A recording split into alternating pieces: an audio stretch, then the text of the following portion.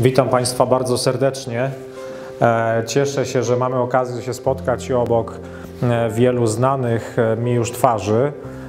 Widzę też i nowe twarze, twarze kobiet, a mówią, e, ta dziedzina rozwija się wtedy, kiedy pojawiają się piękne kobiety.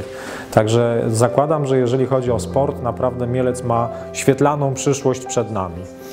E, Mam nadzieję, że e, dobrze w tej chwili funkcjonuje nagłośnienie. Ja nie jestem pewien, czy, czy mm, tutaj dobrze mnie słychać w tej chwili.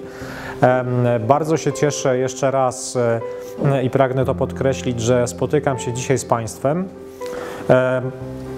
Co przed nami?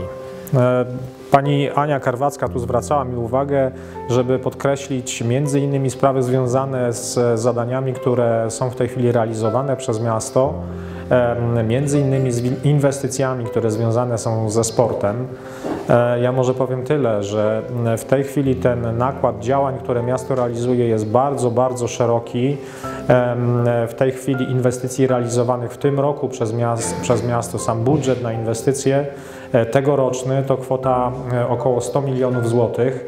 E, Niebotyczna kwota i ją przeznaczamy w tej chwili na reinwestowanie tych działań, które no, w mieście są bardzo, bardzo potrzebne po to, żebyśmy mieli chociażby takie inwestycje jak hala, jak wreszcie wyprowadzony na prostą, bo to też muszę powiedzieć, e, stadion, który niby niedawno remontowany, teraz się okazuje, że mamy całą masę problemów em, z przeciekami, jeszcze z innymi rzeczami, które w tej chwili próbujemy em, e, stadion odratować tam, gdzie to jest jeszcze możliwe, tam, gdzie pojawiają się tematy związane chociażby z e, tartanem na bieżni i tak dalej, i tak dalej, ale wszystko robimy to po to, żebyście Państwo mieli warunki do funkcjonowania.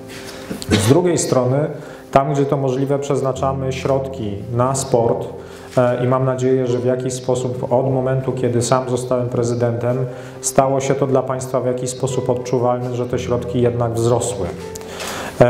Bardzo mi zależy na tym, żeby wrócić do czasów świetności Mielca, kiedy Mielec był rozpoznawany e, i bardzo zależy mi na tym, żeby oczywiście, żebyśmy byli rozpoznawani pod kątem piłki nożnej jak najbardziej, ale nie tylko, bo wiemy, że jeśli chodzi o kwestie sportowe, mamy naprawdę wiele dziedzin, e, którymi możemy się popisać.